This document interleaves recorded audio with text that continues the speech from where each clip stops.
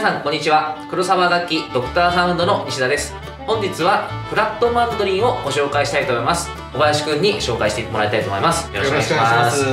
えっと、今日ご紹介いただくのはどちらのブランドになりますでしょうか？そうですね。あのこれケンタッキーっていうブランドなんですけどあの昔からブルーグラスやってる方でもね最近あの若い方でブルーグラスやってる人でもまあ馴染みのあるブランドの一つだと思いますけど。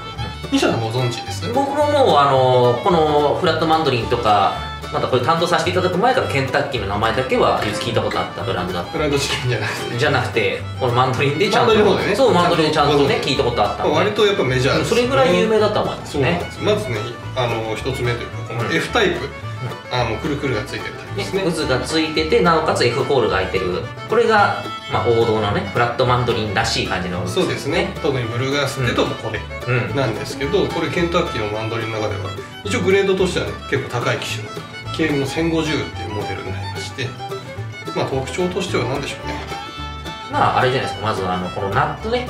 ナットが通常牛骨に対してこれちゃんとねあの昔のあのギブソンに習ってあと貝でできてるね。ね。これは最大の特徴だと思います、そうですね。それでありながらもちゃんとこういう太いフレットがついててあと指板がこういうラディアスがついてるんで、ね。この R がね。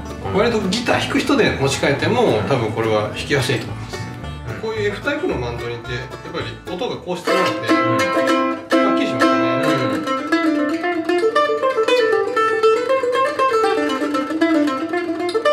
こういう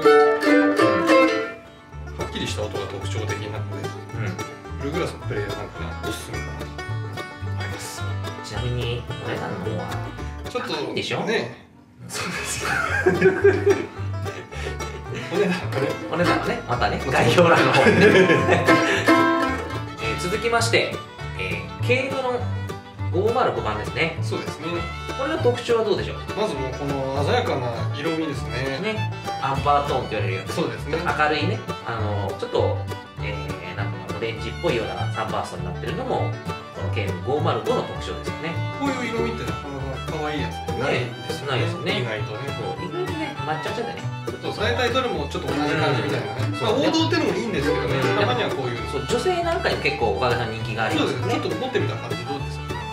まあやっぱりちょっとお姉としてはこうねちょうどねこういう感じのね色はやっぱりこう似合うんじゃないかなと思って。例えばね音発色いいしねうんこれはねスケールがちょっと長いそうだよね。普通 A タイプってこうね F じゃなくてね渦がないタイプだとっていう。のはここでネックとボディがくっついてる、ね、ちょっと少し短いのが A タイプの特徴だけど、ね。ボディの形は A タイプだけどもこの F ホールになってるとねね F タイプのねロングスケールになる。なります。これがやっぱり特徴ですね。そうですね。だからねあの見た目はすっきりしてるけども音はちゃんとね切りのいい。そうですね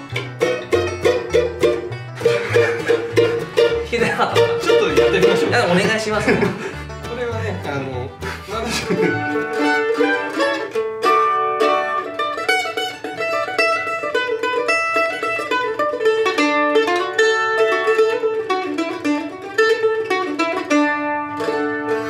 バランスがいいですよね。ね。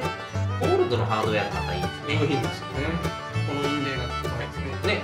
なかなかこういう価格帯でねあのこういうヘッドにまたインレイ入れてるのそうなかなかないですね。価格帯って違いそんなえそんだけねこだわるとねお互いに。えっと最後にご紹介するのはこちらなんですか？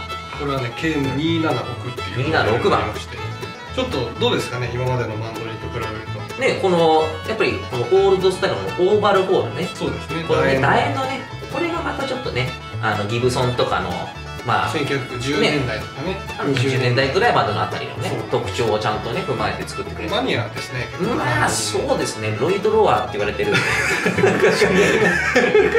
何を言ってるんです。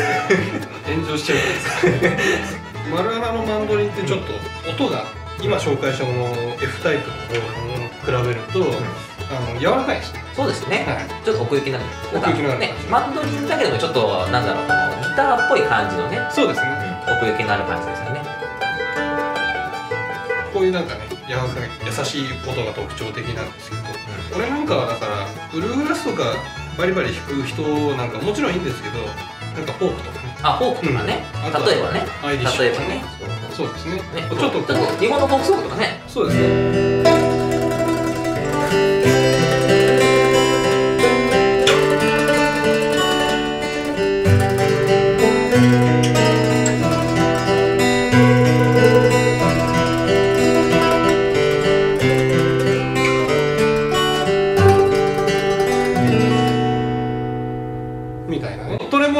もろ引きなんか音が柔らかいんで、ねちょっとクラシックのあの後ろがこうボールになってる。そうですね。そういうタイプにもちょっと近いような印象があそうですね。うんそうそう。これはねスタイルで言うとちょっとこういうのに比べるともともと誕生した歴史でとやっぱ古いうん。それらしい感じの音なんでね。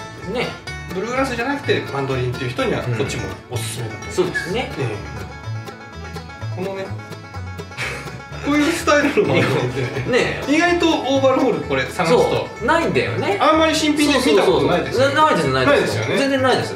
だでもそんなに珍しいとね高いでしょ？